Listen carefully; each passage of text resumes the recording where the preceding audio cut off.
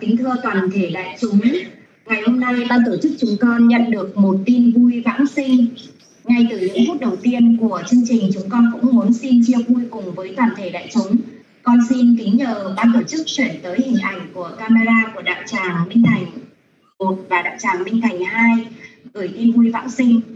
Nam mô A Di Đà Phật, kính bạch chư tôn thiền đức tăng ni, kính bạch lão cư sĩ Diệu Âm, kính thưa các cha các má trên đường Zoom thế giới hộ niệm. Ngày hôm nay, đạo tràng Đan Phượng chúng con xin hoan hỷ báo tin vui.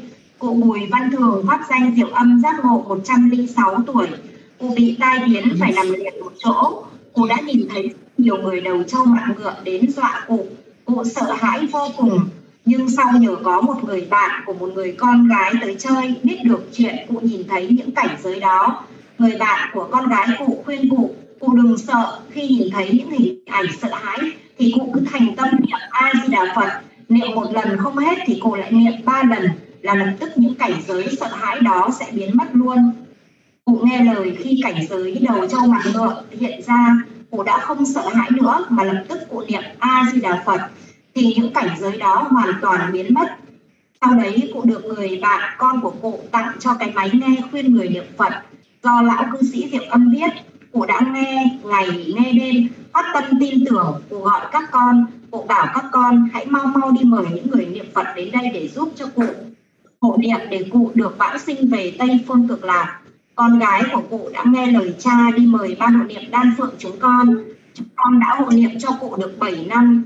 7 năm cụ nằm liệt trên giường, chân tay co quắp, không co duỗi được. Khổ như vậy nhưng cụ rất nghe lời đạo tràng hướng dẫn. Cụ hứa cụ sẽ quyết lòng đi về tây phương cực lạc trong một đời này. Cụ tỉnh táo chịu khó niệm phật ngày đêm khi niệm phật thì cụ cứ tha thiết ngắm nhìn ảnh phật. Có những đêm cụ niệm phật không ngủ, cụ nói, cụ học học hương của cụ lê trí thuyền, cụ học, cụ bùi thị sói. Tất cả những buổi lên dung thế giới hộ niệm, những buổi cộng tu của đạo tràng, những buổi hộ niệm cho hương linh cụ không bao giờ bỏ một buổi nào. Cụ tinh tấn vô cùng, cụ cũng đã được lão cư sĩ diệu âm khai thị cho cụ một lần. Cụ ngày đêm mong mỏi cầu xin đức tử phụ a di đà đến đón cụ đi sớm cụ hoan hỉ vô cùng mỗi khi chúng con đến hộ niệm cho cụ, đã bốn lần chúng con cứ tưởng cụ ra đi. Sau đó cụ tỉnh lại. Tỉnh lại cụ lại hỏi, sao a di đà phật vẫn chưa đón cụ đi vậy? Và lần thứ tư là lần cuối cùng. Cụ vẫy tay chào mọi người, mắt cụ nhìn lên ảnh phật. Cụ cười thật tươi, môi đỏ ơi là đỏ. Cụ niệm phật đến hơi thở cuối cùng và ra đi trước sự chứng kiến của cả đại tràng trong lúc hộ niệm cho cụ được 7 tiếng chính quyền xã cũng đến cản trở đạo tràng chúng con có cử vài người lại để tiếp tục hộ niệm cho cụ Cuối cùng sau 12 tiếng thăm thân thật bất khả tư nghì, chân tay mềm mại, môi đỏ, miệng cười, cụ đã thực sự thực hiện lời hứa quyết lòng vãng sinh Tây Phương Cực Lạc. Cụ ra đi để lại cho chúng con niềm tin ngày thêm sâu sắc. Chúng con cũng xin hứa sẽ quyết lòng học theo gương của cụ, quyết lòng niệm Phật vãng sinh về Tây Phương Cực Lạc trong một báo thân này.